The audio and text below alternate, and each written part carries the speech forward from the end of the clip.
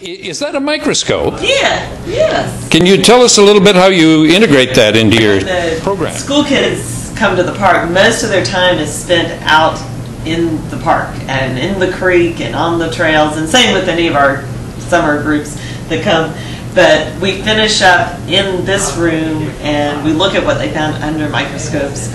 Where uh, whatever we put under this microscope here shows up on the TV screen. We also have another microscope where whatever we put under shows up on the big screen there through a projector. So uh, we look at what's there up close, we look at details of how they're made to live in the water, and uh, talk about the animals that we see. We also compare what we see with a chart that uh, determine, helps us determine the water quality, basically. So we talk about which animals are most sensitive to different types of water.